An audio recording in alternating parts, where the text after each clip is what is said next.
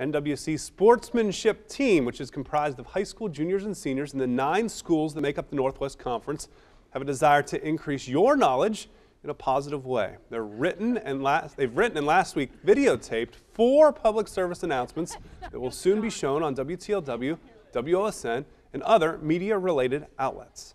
Jennifer has more.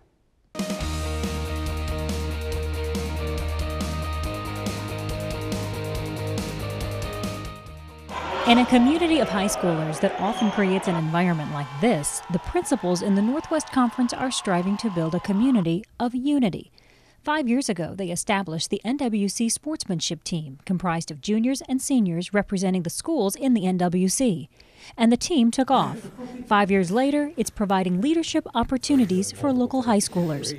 They created a mission statement, a common theme of appropriate and inappropriate cheers and conduct for players and fans, and for the past two years have created public service announcements, an opportunity to expand their desire for unity even beyond the NWC schools.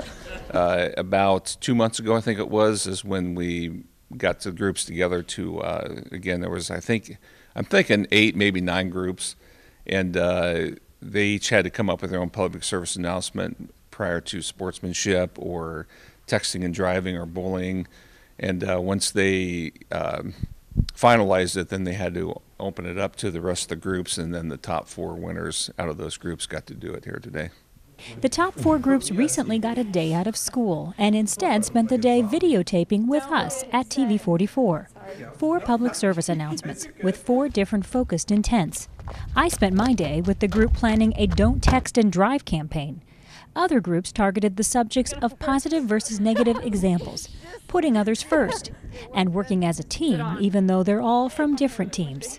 Soon the PSAs will start airing on TV and beyond, but in reality, the entire project has an even larger goal. I think it's important because we are all together so much, but all in like a competitive atmosphere rather than working together like in this kind of way.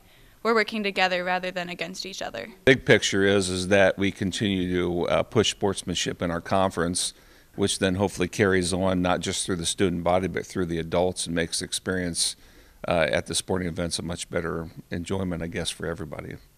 It'll represent our conference well, and as we grow up and we're coming back home and maybe raising our families in these towns, when we're the parents in the crowd, we're going to know how to act and we're going to act correctly, and we can teach our kids how to act.